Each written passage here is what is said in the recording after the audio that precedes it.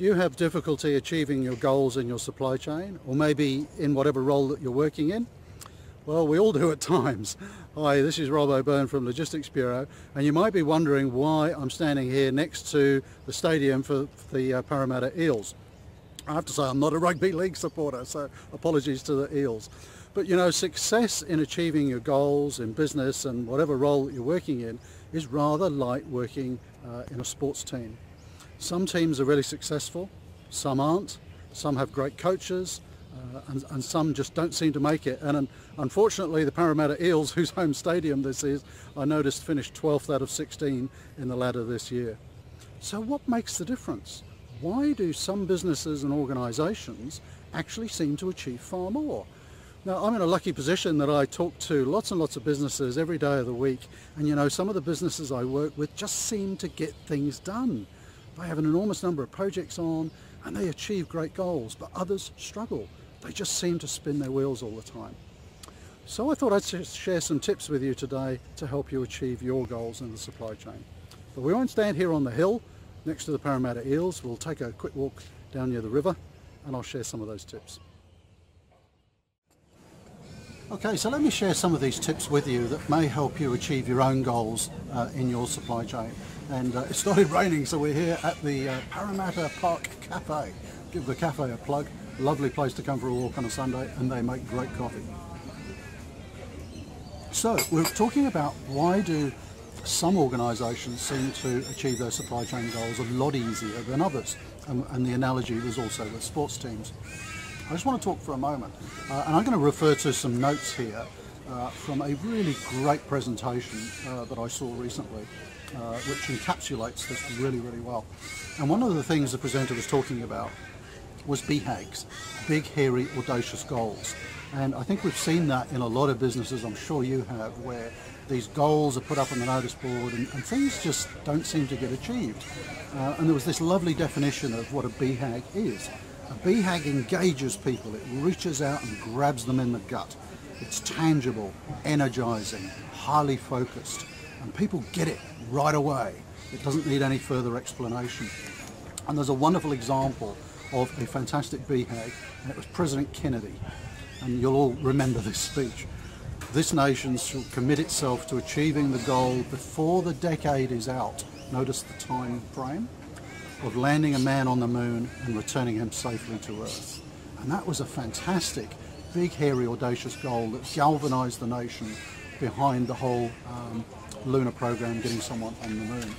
So how does, how does all of this fit with your situation uh, and in your business?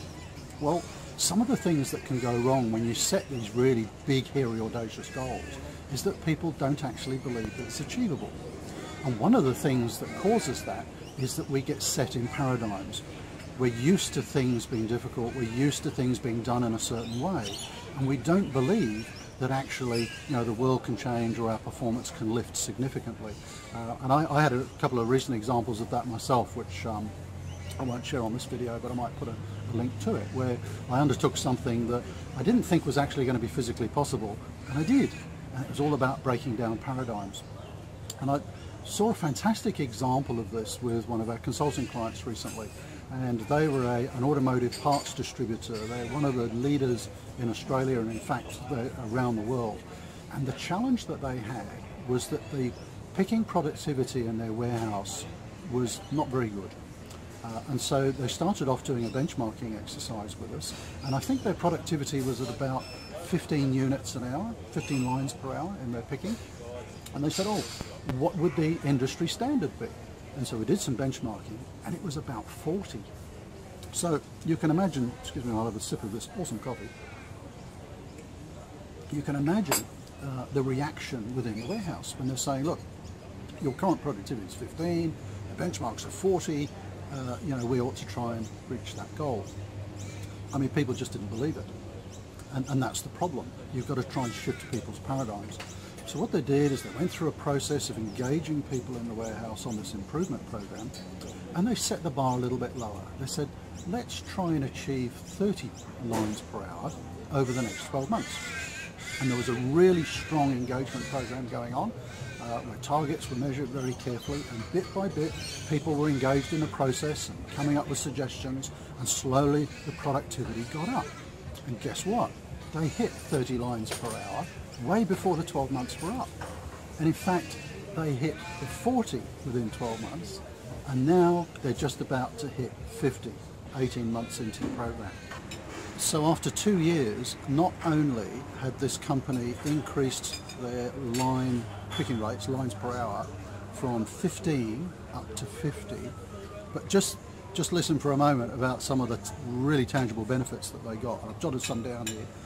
The increase in productivity was 217%. Just think about that for a moment. What does that translate to? Uh, they had a delivery in full on time, a DIFOT measurement of 99.72%. So they had this increase in productivity plus a lift in service levels, which their customers loved. And you know what happens when service levels improve? Customers buy more. And they had a profit increase of over 40% just through that one initiative, just through getting people galvanized behind uh, a big, hairy, audacious goal, and leading them through the process and all the engagement that involved with it. So, you know, how was all of that possible? A goal that was put to the team initially, thought to be impossible, and they actually kicked it out of the park. That's the sort of thing that fascinates me, and it's the sort of thing that I would love to share with you in a lot more depth. How you can actually use frameworks like that to achieve great things in your own organisation, in your own departments. Uh, and in fact, the presentation that I was taking some notes from was one of our most popular presentations given at Supply Chain School. And it was given by Stephen Thacker. And I persuaded Stephen Thacker to share that presentation at a breakfast that we've got coming up very, very soon. And he's going to go through the case study that I mentioned with the automotive parts company. He's going to go through some other case studies and give you that framework for how you can achieve great things within your own organisations and achieve your goals. So if you want to come along to that breakfast, uh, we're holding it in Sydney and Melbourne. It's also online if you can't, if you're not in Sydney and Melbourne. All you need to do is click on the link below and all the details are there and you can register. And the breakfast is coming up in about three weeks. I think it is in November, 16th, 17th or 17th, 18th, something like that. Just click the link below and we'll look forward to seeing you there.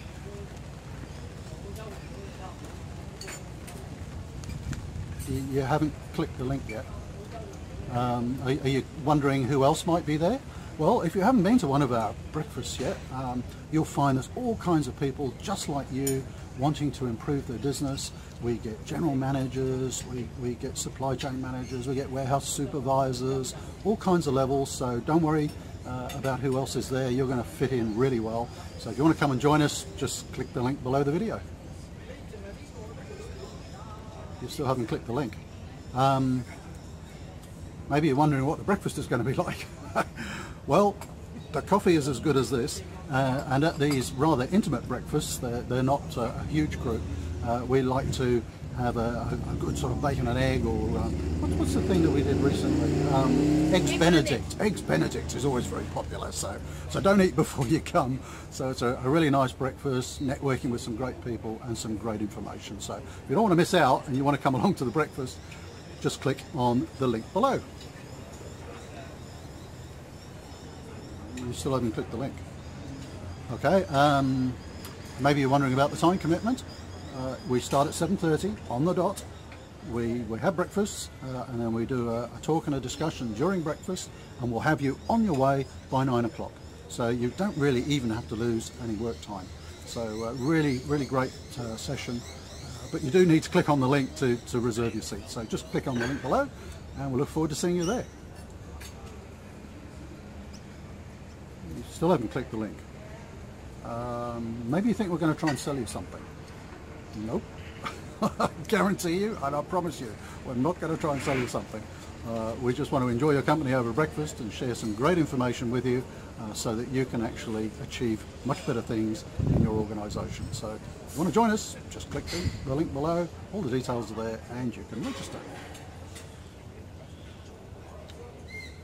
You still haven't clicked the link.